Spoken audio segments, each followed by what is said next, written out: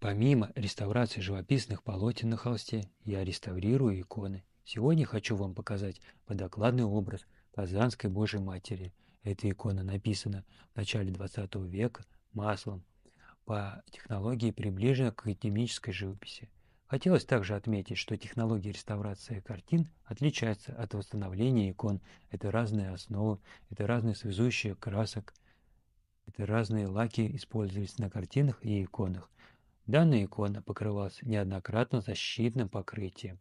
Наверное, в данном случае это был лак, который сильно исказил авторский колорит живописи. И я удаляю старое защитное покрытие.